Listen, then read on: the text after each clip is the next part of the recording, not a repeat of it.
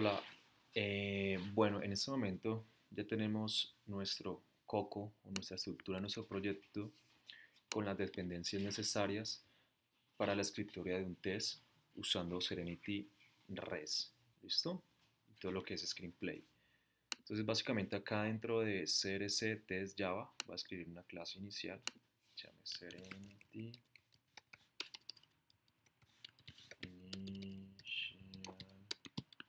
test. Para la ejecución de estos tests vamos a tener que usar un runner. En este caso vamos a usar el runner de Serenity Runner. Ya. Ahora bien, ¿sobre qué se va a tratar nuestro primer test? Pues vamos a ejecutar un test sobre la aplicación que les había comentado al inicio Em, es una aplicación abierta para poder hacer todo tipo de pruebas. Em, yo me saqué, hice un fork de esta, de esta herramienta.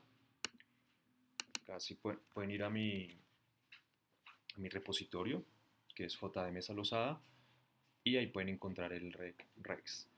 Eh, finalmente lo que hacemos es vamos acá, clone, nos copiamos este, este, esta URL y venimos y la ponemos acá.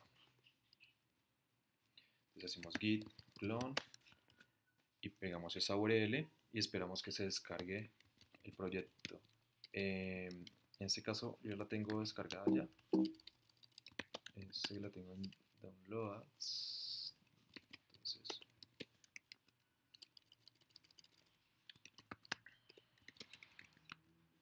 ahí está. Simplemente cuando la descarguen, eso le queda a esa carpeta, ustedes ingresan a la carpeta y finalmente eh, el comando para iniciar, bueno, primero tienen que instalar los paquetes de, de, la aplicación, es en npm install dentro de la carpeta, para eso es que necesitamos tener instalado el Node.js, ¿verdad? Para que se instale todo lo que es el npm, que es el Node Package Manager, que se encarga de descargar los paquetes de la aplicación. Y Finalmente, escribimos node app para probar o para subir más bien la aplicación. Ahí como se dan cuenta está arriba por el puerto 5000. Ahora me creo en, Postman un nuevo request. Básicamente hacemos una petición get al localhost 5000 que es donde está nuestra API corriendo le pegamos al siguiente endpoint, ¿verdad?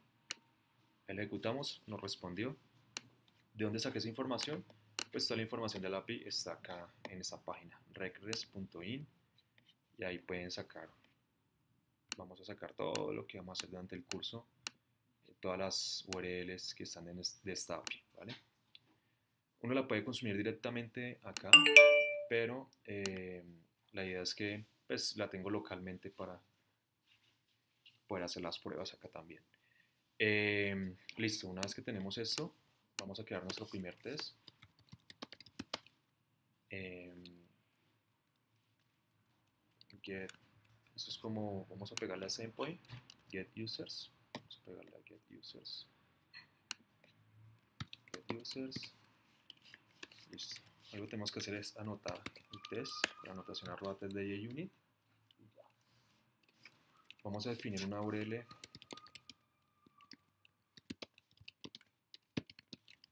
base, la URL base de, nuestro, de nuestra API, que vendría siendo hasta acá.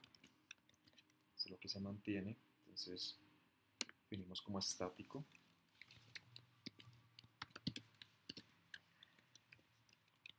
¿Cierto? Y ahora sí, vamos a hacer nuestro primer test. Para ello vamos a crear nuestro primer actor. Actor, actor se llama Julián, o nombre de la variable Julián, y acá vamos a poner actor.name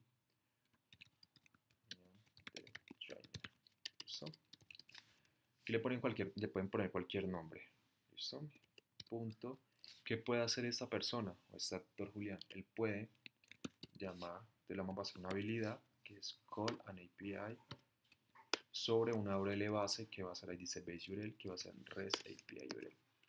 Entonces, básicamente aquí ya tenemos un actor que le dimos la habilidad de poder comunicarse con una API y esa API como, base, como URL base va a ser esta. ¿Listo?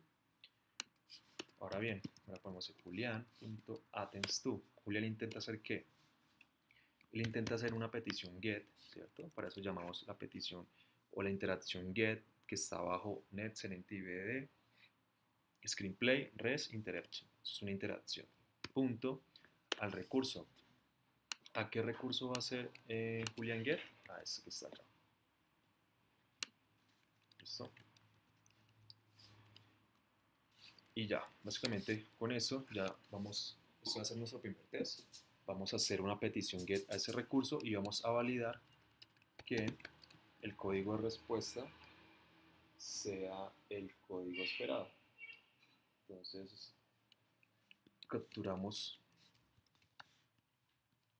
la última respuesta, la response punto code punto nos toca agregar la dependencia de Java Assertions en este caso va a ser la del core y punto is equal to 200 entonces básicamente acá cuando le pegamos esa API y nos responde bien vemos que obtenemos un 200 entonces va a ser nuestra aserción en este caso finalmente le damos run y podemos darle sobre dentro del método o sobre el método le damos clear hecho y él nos identifica cuál es el test que va a correr. ¿Listo?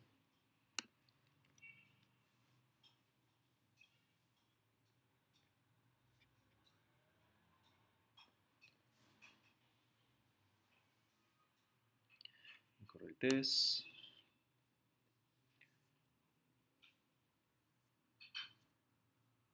Y tuvimos un test que pasó, que realmente tuvimos el, el pase. Vamos a hacer uno que falle. a sacar una copia de esto para obtener dos y ver cómo se mira. ¿Listo? Entonces aquí vamos a hacer get users fail. Users fail. Y aquí lo vamos a cambiar por un código que sea totalmente diferente al que se espera. ¿Listo? Entonces vamos ahora sí a correr todos los tests. Entonces para eso me ubico dentro de la, le doy clic sobre la clase, no sobre cada test, sino sobre la clase para que los ejecute todos.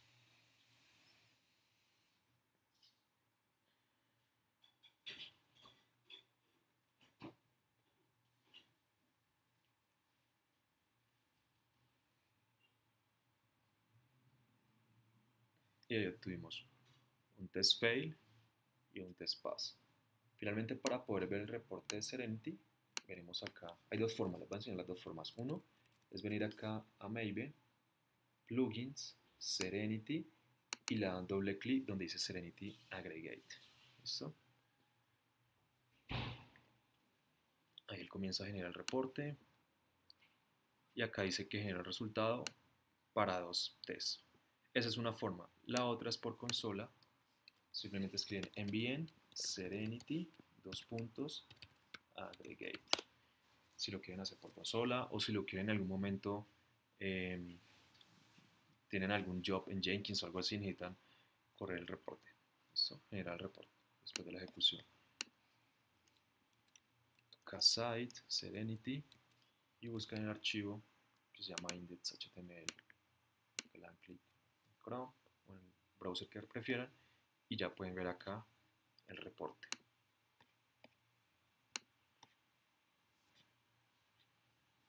Eh, eso es lo que les quería mostrar en este video. y nos vemos en el próximo.